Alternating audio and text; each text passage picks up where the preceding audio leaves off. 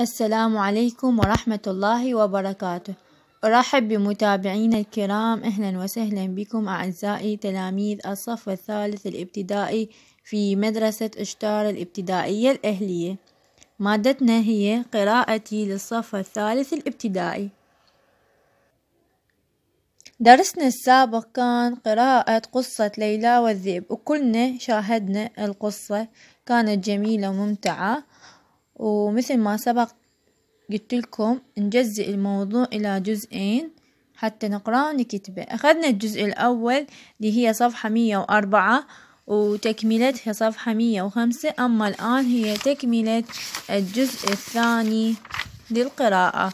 هسه أريد أفتح الكتاب وياي وإيدك على الكلمات نأشر ونقرأ الموضوع. صفحة مية وستة. مية وستة هسه أشر وياي؟ حقران الموضوع وياي. لكنها فرت من باب آخر. لكنها فرت من باب آخر. بعد إن أصابها بجروح. بعد إن أصابها بجروح. لبس الذئب ثيابها. لبس الذئب ثيابها ونام في الفراش. ولما وصلت ليلى إلى دار جدتها نادت بأعلى صوتها.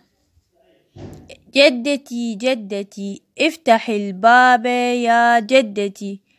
لقد أرسلتني أمي بهذا الكأك إليك. فقال لها الذئب الخبيث بصوت خافت. ادخلي يا عزيزتي ليلى فإن الباب مفتوح. فدخلت ليلى الدار وظنت إن جدتها مضطجعة. على سريرها لتستريح. يعني نائمة على سريرها لتستريح. فأسرعت إليها فرحة ضاحكة لتعطيها الكأك وهي تقول لها خذي هذا الكأك يا جدتي خذي هذا الكأك يا جدتي. اسم الإشارة هذا اللي أخذناه بدرس القواعد نشير به إلى المفرد المذكر القريب. هذا يا جدتي إنه كأك لذيذ صنعته لك أمي. فقال الذئب الخبيث ضعي هذا ضعي الكأك هناك يا ليلى وتعالي نامي معي. يا ابنتي الحبيبة. فوضعت ليلى الكعك على المائدة وذهبت إلى الفراش فلاحت لها أسنان الذئب الطويلة فظنتها أسنان جدتها فتعجبت مما رأت وقالت ما بال أسنانك طويلة يا جدتي. علامة الاستفهام لوجود أداة الاستفهام ما. ما بال أسنانك طويلة يا جدتي. فقال لها الذئب بصوت مخيف لأأكلك بها. فأدركت ليلى إنه الذئب ففزعت وصرخت مستنجدة مستغيثة. وكان خالها قد ازداد شوقه إلى أمه في ذلك اليوم فأتى بيتها فلما وصل إلى الباب سمع صراخ ليلى وهي تستغيث من الذئب الذي هجم على جدتها فأسرع إليه وضربه بالفأس ضربة قتلته ونجت ليلى من الموت. هسه وياي حقرأ الموضوع تقرأوه من بعدي حتى تحفظوا قراءة. لكنها فرت من باب آخر. تنوين الكسر. باب. لكنها فرت من باب آخر. بعد إن أصابها بجروح. بعد إن أصابها بجروح. بعد إن أصابها بجروح. لبس الذئب ثيابها. لبس الذئب ثيابها. ونام في الفراش. ونام في الفراش. ولما وصلت ليلى. ولما وصلت ليلى إلى دار جدتها. إلى دار جدتها. نادت بأعلى صوتها. نادت بأعلى صوتها. جدتي جدتي. جدتي جدتي. افتح الباب يا جدتي. افتح الباب يا جدتي. لقد أرسلتني أمي. لقد أرسلتني أمي. بهذا الكأك إليك بهذا الكأك إليك. فقال لها الذئب فقال لها الذئب الخبيث بصوت خافت. فقال لها الذئب الخبيث بصوت خافت.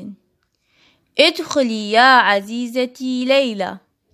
ادخلي يا عزيزتي ليلى. فإن الباب مفتوح. فإن الباب مفتوح. فدخلت ليلى الدار. فدخلت ليلى الدار. وظنت وظنت إن جدتها مضطجعة مضطجعة. وظنت إن جدتها مضطجعة. على سريرها لتستريح. على سريرها لتستريح. فأسرعت فأسرعت إليها فرحة. فأسرعت إليها فرحة. ضاحكة. فأسرعت إليها فرحة ضاحكة. لتعطيها الكعك لتعطيها الكعك. وهي تقول لها وهي تقول لها. خذي هذا الكعك خذي هذا الكعك. يا جدتي يا جدتي إنه كعك لذيذ إنه كعك لذيذ. صنعته لك أمي صنعته لك أمي. فقال الذئب الخبيث فقال الذئب الخبيث ضعي الكأك هناك يا ليلى ضعي الكأك هناك يا ليلى وتعالي نامي معي وتعالي نامي معي يا ابنتي الحبيبة. فوضعت ليلى الكعك فوضعت ليلى الكعك على المائدة. على المائدة. وذهبت إلى الفراش. وذهبت إلى الفراش. فلاحت لها أسنان الذئب الطويلة فلاحت لها أسنان الذئب الطويلة. فظنتها فظنتها أسنان جدتها. فظنتها أسنان جدتها. فتعجبت مما رأت. فتعجبت مما رأت. وقالت ما بال أسنانك طويلة يا جدتي. ما بال أسنانك طويلة يا جدتي. فقال لها الذئب فقال لها الذئب بصوت مخيف. فقال لها الذئب بصوت مخيف لأأكلك بها. لأأكلك بها. فأدركت ليلى إنه الذئب. فأدركت ليلى إنه الذئب. ففزعت وصرخت. ففزعت وصرخت. مستنجدة مستغيثة مستنجدة مستغيثة. وكان خالها وكان خالها قد ازداد شوقه إلى أمه. قد ازداد شوقه إلى أمه في ذلك اليوم في ذلك اليوم. فأتى بيتها فأتى بيتها. فلما وصل فلما وصل إلى الباب سمع صراخ ليلى سمع صراخ ليلى وهي تستغيث من الذئب وهي تستغيث من الذئب الذي هجم على جدتها الذي هجم على جدتها فأسرع إليه فأسرع إليه. وضربه بالفأس وضربه بالفأس. ضربة قتلته ضربة قتلته. ونجت ليلى من الموت ونجت ليلى من الموت. هسه أريد من عندكم بعد ما أكملنا قراءة موضوع ليلى والذئب نقلب الصفحة مية وثمانية. أكو موجودة تدريبات. التدريبات هاي كلش سهلة. أريد بعد ما تكملون كتابة الموضوع. صفحة مية وستة ومية وسبعة مية وستة ومية وسبعة. حلوا لي التدريبات بالكتاب. ما أريد تكتبوها بالدفتر. بالكتاب. أنا شوية موضوع طويل وكتبناه بالدفتر. فالتدريب رقم واحد. تدريب رقم واحد. ضع كل كلمة في مكانها المناسب من الجمل. منطينا جمل من الموضوع اللي قريناه وكلمات بين قوسين نختار كل كلمة بالجملة. شؤون يفاجئ مضطجعة المائدة مستنجدة. شؤون يفاجئ مضطجعة المائدة مستنجدة. أول جملة ففزعت وصرخت مستغيثة. شنو الكلمة الموجودة هنا حتى الكلمة الموجودة هنا حتى تكمل هذه الجملة؟ شؤون؟ لا. يفاجئ. إذا ففزعت وصرخت مستنجدة مستغيثة. نكتبها مستنجدة. مستنجدة. زين. الجملة الثانية. وظنت إن جدتها على سريرها لتس لترتاح. شلون نائمة على سريرها قلنا الجملة مضطجعة. مضطجعة ميم ضا طا ج عين مضطجعة. زين. الجملة الثالثة تسرع ليلى كل يوم لتعاون أمها في شؤون البيت. إذن شؤون. شؤون البيت. فوضعت ليلى الكعك على المائدة. وإذا بذئب خبيث حافظيها أحنا يفاجئ ليلى الصغيرة. يفاجئ. وإذا بذئب خبيث يفاجئ ليلى الصغيرة. هسه نشوف الجمل. ففزعت وصرخت مستنجدة مستغيثة. وظنت إن جدتها مضطجعة على سريرها لترتاح.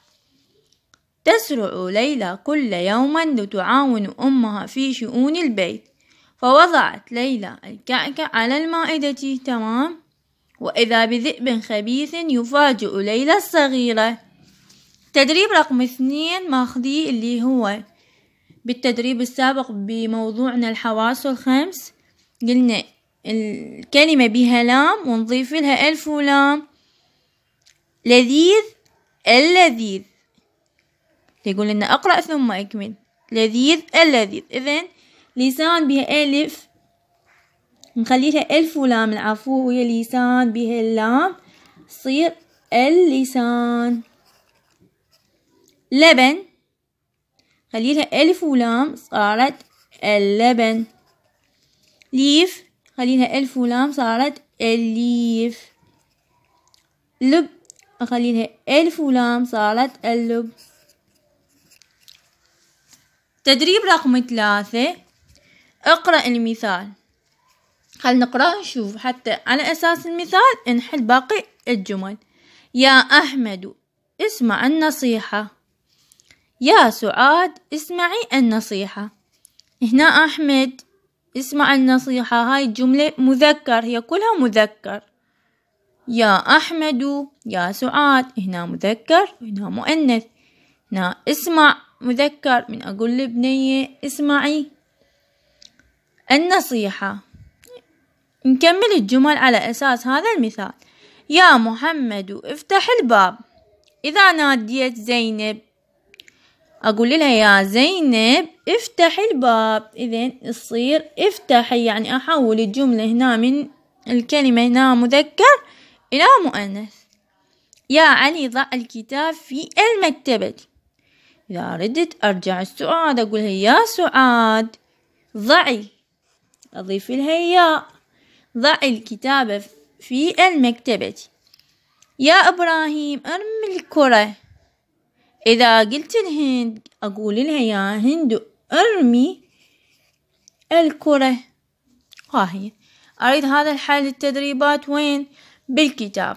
وهسه راح أنتظركم تكتبوا لي صفحة مية وستة ومية وسبعة. وأنتظركم تدزوا على group. وأول عشرة من كل صف أول عشر تلاميذ من كل صف يكتبوا لي الموضوع بالبداية يعني أول بداية هم يدزوا لي حنطيهم اليوم درجة الممتاز. okay وأريد تفاعلكم أقوى وأحسن من قبل. وانتظركم. مع السلامة.